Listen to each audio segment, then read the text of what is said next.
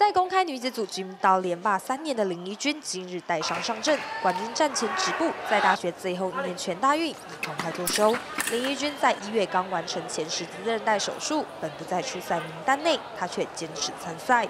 因为我以为团体有四队，那四不四队不就取两队嘛？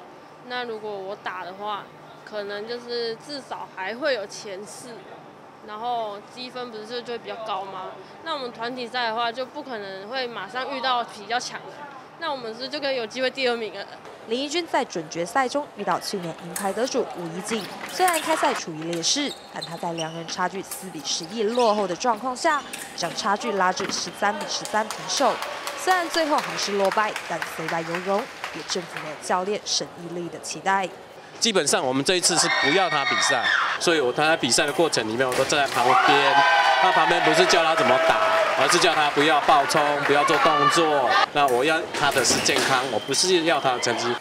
今日公开男子组盾剑部分，陈玉明和洪崇仁止步八强，一般女军刀陈佳玉在为击剑队添一铜，严冠霖第八名。目前击剑队共计四铜。记者胡雅欣、吴冠宇、马玉龙台湾报道。